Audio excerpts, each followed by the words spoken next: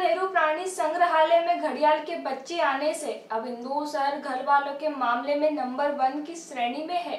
इंदौर के चिड़ियाघर प्रबंधक उत्तम यादव ने मीडिया को बताया कि घड़ियाल के नए बच्चे आने से करीब 55 घड़ियाल इंदौर के चिड़ियाघर में मौजूद है।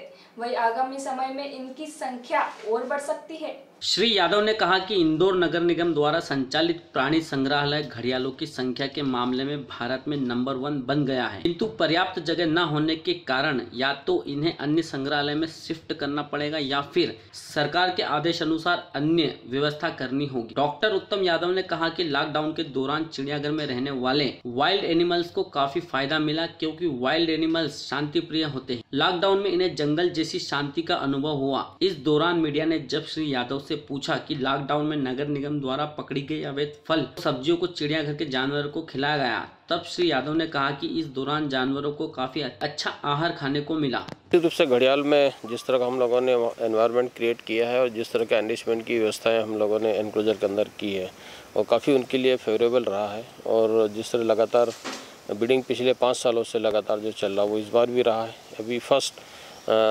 हैच हमारे पास आया है, करीब इसमें पंद्रह हैचलिंग आए हैं घड़ियाल के बच्चे। पहले से हमारे पास करीब चालीस के करीब थे। तो इस तरह अभी करीब पचपन के आसपास, हमारे चौवन पचपन के आसपास हो चुके हैं। और उम्मीद है कि हमारी एक घड़ियाल और दी फीमेल जिसने एगले किया है, उसके भी हैचलिंग्स बाहर आएँगे तो और भी संख्या बढ़ने की संभावना है। तो किसी भी जू वाइज अगर बात की जाए तो निश्चित रूप से इंदौर जू घड़ियाल के मामले में नंबर वन की स्थिति में आ चुका है, क्योंकि इतने सारे घड़ियाल किसी भी और जू में नहीं है।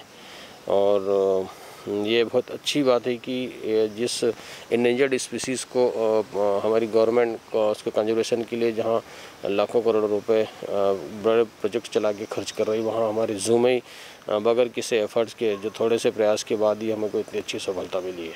नया पिंजरा बनाने की